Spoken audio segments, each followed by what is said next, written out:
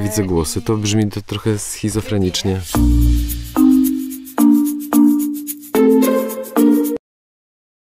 Moja praca w dubbingu zaczęła się dosyć traumatycznie, bo od bardzo poważnego, dużego zadania. O smaku wątróbki.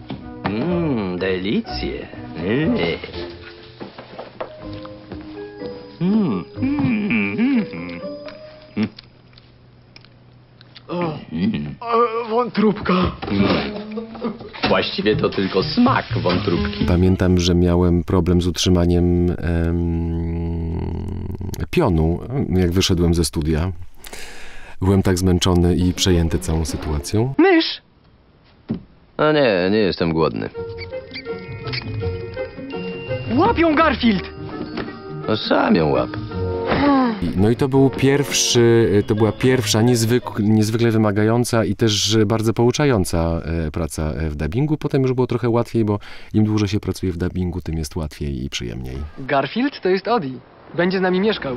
A, przyszedłeś umówić się na randkę, a wracasz z psem? No, to jest z tobą bardzo źle. O, to smutne. Był taki czas, y, ale to się zbiegło z czasem e, również e, ról e, w teatrze. E, e, em, czarnych charakterów. E, I, i była tak, były chyba były takie trzy czy cztery lata podobnych, e, grania podobnych charakterów zarówno w teatrze, jak i w dubbingu. Jack? Jak na neutralnego gracza sporo czasu spędzasz z tymi nudziarzami. To nie twoja wojna, Jack. Stała się moja, kiedy ukradłeś te zęby. Zęby? A czemu zależy ci na jakichś zębach? Zdaje się, że to, było, zdaje się, że to chyba moja naj. mm, mm, Moim zdaniem najciekawsza praca, ale też e, e, e, która dała najwięcej przyjemności. Akurat jego szukałem.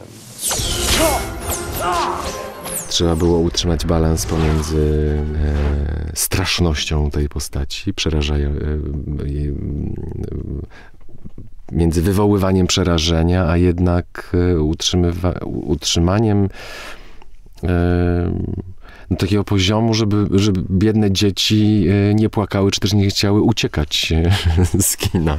I to chyba się udało. Cięcie! Dart, nie grasz w tej scenie. Dart, spójrz na mnie. Nie gram? Nie. Widzisz? Ja. Nie. Czy widzisz tu siebie? Nie, dokładnie. Historia z Lego trwa bardzo długo. Przyznam się, że na początku trochę e, niepoważnie traktowałem tę pracę. Potrenujemy jutro. Nie odkładaj czegoś, co możesz zrobić dziś. Cóż, miałem zjeść tę pizzę jutro, ale skoro tak mówisz... Au! Nie zasłużyłeś. Nie sądziłem, że to może o, y, być takim sukcesem w przyszłości. Ja rzeczywiście to już trwa parę ładnych lat. I dla najmłodszego y, grona odbiorców jestem kolem. Myślicie, że faktycznie musimy jeszcze potrenować? Sensei ma rację. Odkąd zdobyliśmy złote bronie, nie było szansy ich użyć. Ciekawe, co robią. Ja patrzę w przyszłość z nadzieją. Jeśli mamy osiągnąć więcej, niech tak będzie! Trafiłem kiedyś przez przypadek e, do, e, do Smyka. E, e, Chciałem zrobić zakupy, kupić jakieś prezenty moim bratankom. I zobaczyłem, że dwa regały to były klocki z postaciami, z różnymi elementami, statkami, wozami, różnymi gadżetami. Ninjago. Sobie zdałem sprawę, w czym uczestniczę, jaki to ma wymiar. No dobra, ludzie, jeden ostatni raz. Nazywam się Peter B. Parker. Użarł mnie radioaktywny pająk i przez 22 lata sądziłem, że jestem jedynym niepowtarzalnym Spider-Manem. A resztę to pewnie już znacie. Cudowna przygoda też z- ze Spider-Manem. Ym, Jakoś się zaprzyjaźniliśmy, zaprzyjaźniłem się z tą postacią, jakoś mi się stała bardzo bliska, poczucie humoru tej postaci, wygłup. Ocaliłem miasto, zakochałem się, ożeniłem, potem znów ratowałem miasto, może za często. Małżeństwo mi się spaprało, zrobiłem kilka głupich inwestycji. Pająki to słaby motyw dla restauracji. 15 lat przeleciało, bla bla bla, straszna nuda. Złamałem kręgosłup, dron mi wleciał w twarz, pochowałem ciocię May z żoną się... rozwiodłem. Ale wcześniej serial, y, który trwał, y, y, który miał kilka sezonów i pracowaliśmy kilka lat nad tym, nad tym serialem. Trochę, trochę mi teraz brakuje Spidermana. Natychmiast! Mimo, że dyrektor Colson, innym znany jako agent tarczy, myśli o tym samym co ja. Sala gimnastyczna jest przez nich dodatkowo chroniona. Korzystając y, z pamięci grania y, nastolatka do, do, do dojrzałego faceta, to była przygoda i, i przyjemność y, przeżycia, y, przejścia tej, tej drogi z tą postacią. Zdarzają się takie cudowne historie w dubbingu. Hej, Benson! Może jakaś przerwa? Że co? No przerwa. A, to chcecie break? No to dam wam break. O, to jest y, y, cudowna praca. Wszystko gra, stary? Tak, w porządku. Ale poważnie. Dzięki za pomoc, Bożku Breaku. Jestem naprawdę bardzo wdzięczny. Spoko, nie ma sprawy. To był kompletnie szalony serial. Y, Szalona postać y, neurotycznego, mm, nerwowego, histerycznego dyrektora parku. O, ludzie są zagubieni jak dzieci we mgle. Mamy do czynienia z przestępstwem na niespotykaną wcześniej skalę. Tylko w tym ogrodzie skradziono 10 gnomów. Chciałbym częściej takiej postaci, chciałbym w ogóle takiej postaci grać e, w żywym planie, na scenie albo, albo w kinie, to jest marzenie. Trawa niezmierzwiona. Gleba nienaruszona. No a mrówki zrelaksowane. Widzisz to samo co ja? E, Bardzo często dostaję e, zwrotki od e, graczy. Ostatnio taką bardzo modną grą e, stała się gra Detroit e, i tam dubbingowałem jedną z głównych postaci. Kapitan Allen, jestem Connor. Android przysłany przez Cyberlife. Zdaje się, że całkiem nieźle. W związku z głosami, które otrzymuję od, od, od Państwa, co jest bardzo satysfakcjonujące. Jak on się nazywa? Nie mam pojęcia. Albo co? Potrzebuję informacji, żeby działać efektywnie. Przeżył ostatnio jakiś emocjonalny wstrząs? To chyba pierwsza gra, ym, która była tak intensywna w pracy i było tak dużo do zrobienia.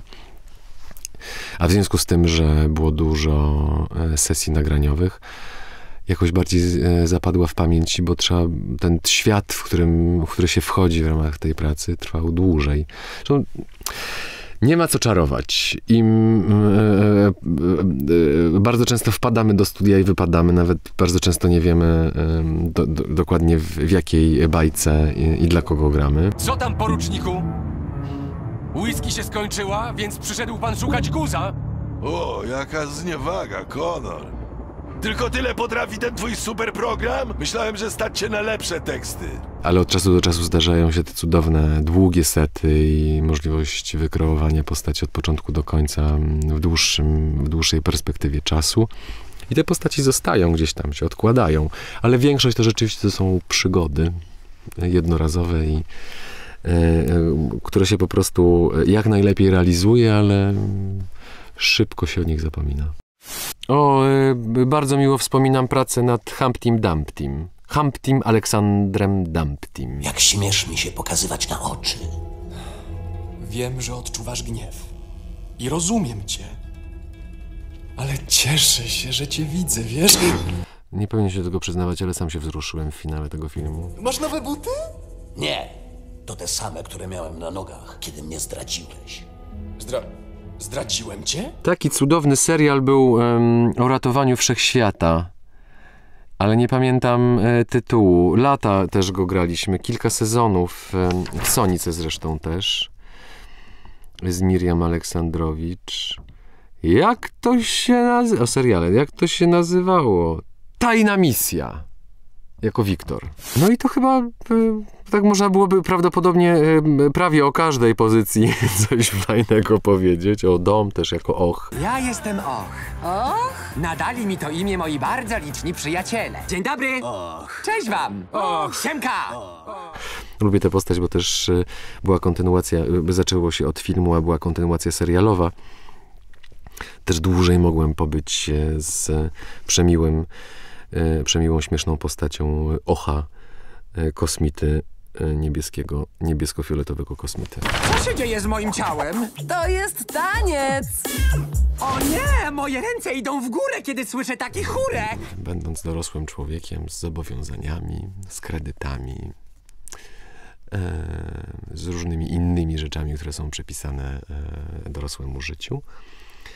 I e, można zamknąć się w studiu z wyrozumiałymi, rozumie, rozumiejącymi tę pracę reżyserami i realizatorami, e, po prostu poszaleć i e, zanurzyć się w wyobraźni. Myślę, że to jest głównie wyobraźnia, która ma swoje korzenie w dzieciństwie. To ja też, to ja też zrobię. Chodź tutaj. Zrobimy, że, że, że to się wydarzyło. Super.